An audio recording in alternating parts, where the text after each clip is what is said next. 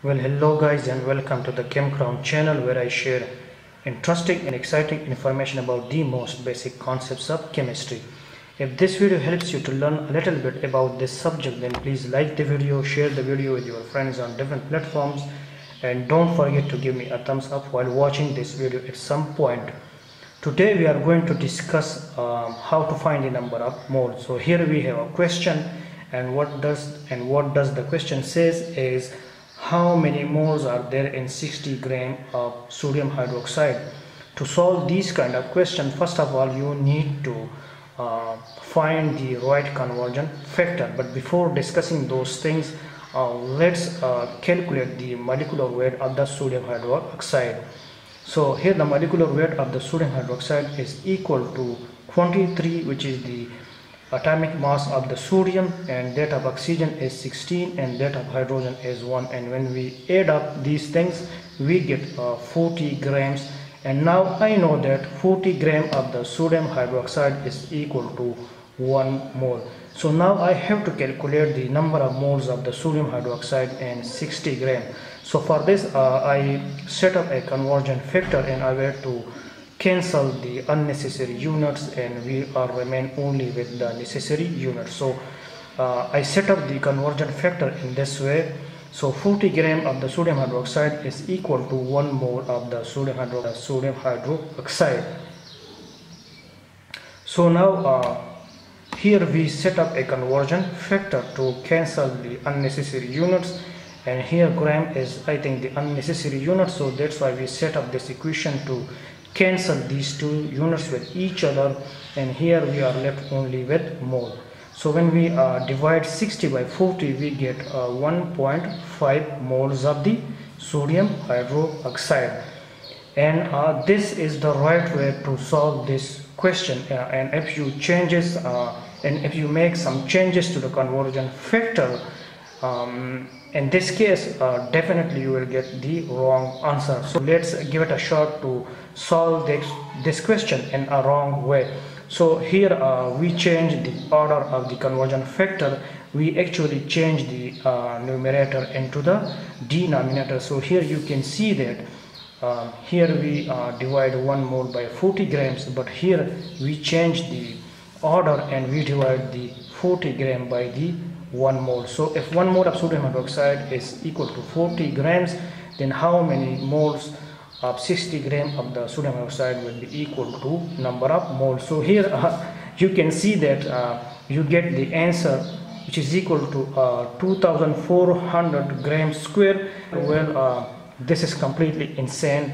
Uh, this doesn't make any sense to me because uh, I know that one mole of the sodium hydroxide is equal to 40 gram and look at look to the value of um, uh, gram square. Well th this doesn't make any sense to me because you know one mole of sodium oxide will be never equal to 2400 grams square. So here you can see that this is the 100% wrong way to solve this question.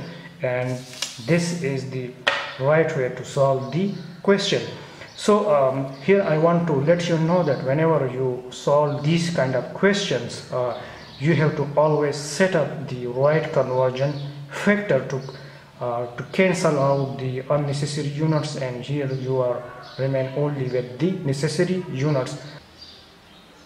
Now the second question we want to discuss is what is the mass of 0.5 moles of the calcium carbonate. So here in this question we have to uh, calculate the number of grams of calcium carbonate from 0.5 moles of the calcium carbonate. So in the first step, uh, I calculate the molecular weight of the calcium carbonate, uh, which is equal to um, 40 grams for calcium, 12 for carbon, and that of 16 for oxygen. But we multiply uh, this 16 by 3 because here we have three oxygen atoms, and we and when we uh, add these three values, we get 100 grams. Now in the second step, uh, I want to set up a conversion factor to cancel the unnecessary units. Uh, in this case, uh, definitely these unnecessary units will be the mole. So I will set up the equation or a conversion factor in the way to cancel out the number of moles and here we are and here we are only left with the ma uh, mass in grams so I know that um, so here you can see that uh, one mole of the calcium carbonate is 100 grams and I calculated this molecular weight already in this um, example here. You can see that. So one mole of the calcium carbonate is equal to uh, 100 grams of the calcium carbonate.